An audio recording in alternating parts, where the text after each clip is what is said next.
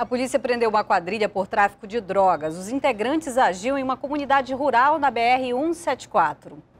O grupo foi preso no fim da manhã de hoje, depois de denúncias de moradores da comunidade Ismael Aziz, na zona norte da capital. O foragido era Valmilson Farias, de 21 anos. Ele escapou no ano passado de uma casa de albergado, área destinada para presos do regime semiaberto. Segundo a polícia, além do tráfico, a quadrilha fazia ameaças na comunidade. Todas as noites eles costumavam é, extorquir o pessoal, a denúncia que a gente extorquia os transeuntes que passavam pela via e comercializava bastante entorpecente na residência onde estavam morando. Com eles foram apreendidos sete celulares, 44 porções de cocaína, oito de maconha, balança de precisão e um revólver calibre 38 com 15 munições. Os quatro homens já foram encaminhados à cadeia pública de Manaus. A gente volta a falar de eleições porque tanto a Assembleia Legislativa do Amazonas quanto a Câmara Federal tiveram muitas mudanças. As casas parlamentares em 2015 vão ter muitas caras novas. Em Brasília, das oito vagas do Amazonas para deputados federais, cinco novidades. Alfredo Nascimento, do PR, Issa Abraão, do PPS, além de três que saíram da Assembleia Legislativa do Amazonas: Conceição Sampaio, do PP, Marcos Rota, do PMDB e Arthur Bisneto, do PSDB. O primeiro colocado com mais de 250 mil votos votos. Maior votação proporcional do país, maior votação da história do Estado. Portanto, existe um momento bonito da vitória, mas depois da vitória nós temos que sentar preparar um mandato à altura dessa votação, à altura do Estado do Amazonas. Marcelo Ramos, do PSB, e Chico Preto, do PMN, que concorreram ao governo do Estado, também vão deixar a Ali, assim como Vera Lúcia Castelo Branco, do PTB, Wilson Lisboa, do PCdoB, Fausto Souza, do PSD, Tony Medeiros, do PSL e Francisco Souza, do PSC, que não se reelegeram. Assim, dez novos nomes assumem no próximo ano o cargo no Legislativo Legislativo. São eles Bosco Saraiva e Bi Garcia, do PSDB, Doutor Gomes, do PSD, Carlos Alberto, do PRB, Sabarres, do PR, Dermilson Chagas, do PDT, Augusto Ferraz, do DEM, Platini Soares, do PV, Alessandra Campelo, do PCdoB e Serafim Correa, do PSB. Os reeleitos são Josué Neto, do PSD, Ricardo Nicolau, do PSD, Sidney Leite, do PROS, Davi Almeida, do PSD, Belarmino Lins e Vanderlei Dallas, do PMDB, Adjunto Afonso, do PP, José Ricardo, do PT, Professor Sinésio, do PT,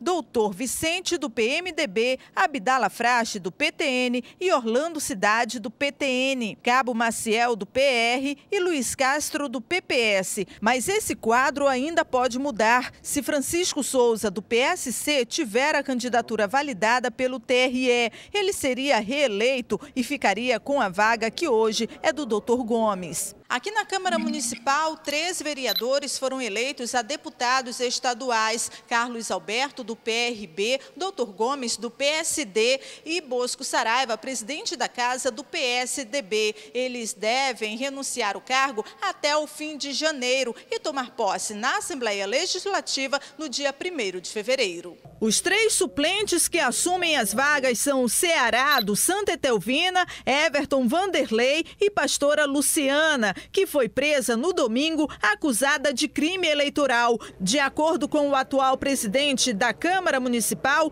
todos os projetos previstos para este ano devem ser votados até dezembro. Nós temos também o regimento interno da casa, que será revisto, entra em pauta ainda esta semana, assim como a revisão da lei orgânica. Tem muito trabalho pela frente até o final do ano. A eleição do novo comandante da Câmara Municipal deve ser realizada em dezembro deste ano. José Melo e Eduardo Braga vão ter 20 dias para conquistar novos eleitores e desempatar a disputa acirradíssima que nós vimos ontem no primeiro turno. Essa corrida já começou. É a primeira vez que uma eleição para o governo no Amazonas é decidida no segundo turno. De olho no jornal e nas últimas informações, alguns eleitores ainda procuravam entender a reviravolta nas urnas. O segundo turno já é o tema mais comentado nas rodas de conversa e a expectativa é que a disputa seja a melhor possível. Limpa tem que ser, em termos de sujeira, né? Eu acho que vai ter pouca sujeira agora, sai dois candidatos, né? Mas tem eleitor preocupado. Do jeito que a briga tá, tá meio difícil. A corrida para o segundo turno já começou. O candidato Eduardo Braga, do PMDB, teve 43,16% dos votos. 709.058 eleitores votaram nele. Em entrevista ontem à noite, ele falou sobre a disputa. Eu quero dizer da nossa, do nosso entusiasmo para o segundo turno da eleição. E quero dizer que pela primeira vez na história do Amazonas tem segundo turno para governo do Estado. É, nunca aconteceu isso. Nunca uma candidatura a governador pelas oposições ou pela oposição tinha conseguido levar a eleição para o segundo turno. José Melo do PROS teve 43,04% dos votos. 707.151 eleitores votaram nele. Em entrevista ontem, ele disse que espera uma campanha limpa no segundo turno. Vamos à luta, foi a primeira batalha. Temos uma outra para vencer, só que nós estamos entrando nessa outra batalha com o entusiasmo de um menino, com a energia de um atleta e com a certeza de que Deus e o povo do Amazonas vai fazer com que todos nós tenhamos a vitória. O segundo turno é uma nova eleição. Primeiro, pela igualdade de tempo no horário eleitoral. Cada candidato terá 10 minutos. E a propaganda no rádio e na TV já começa no dia 11 de outubro. Até o dia 26 de outubro, o grande esforço dos candidatos vai ser conseguir novos eleitores. A dúvida é para onde vão os quase 180 mil eleitores que escolheram Marcelo Ramos, o terceiro mais votado. Ele ainda não decidiu se vai apoiar alguém deve conversar antes com Marina Silva. Primeiro eu vou conversar com a Marina, que tem sido e foi durante todo o momento solidário nessa nossa caminhada, conversar com as pessoas que apoiaram a nossa campanha e tomaremos essa decisão na hora correta. Em alguns estados, o PSB de Marcelo Ramos tem apoiado o PSDB, que aqui no Amazonas é da coligação de José Melo. Mas as alianças devem ganhar forma nos próximos dias. A única certeza até agora é que o resultado nas urnas contrariou as pesquisas. O brasileiro já, já é um povo muito mais politizado do que era antes. E uma última notícia: mais um policial militar que estava a serviço nas eleições morreu na tarde de hoje. Ele voltava de Altazes para Manaus e o carro capotou por conta das fortes chuvas. Ele chegou a ser trazido para o João Lúcio, mas não resistiu e morreu.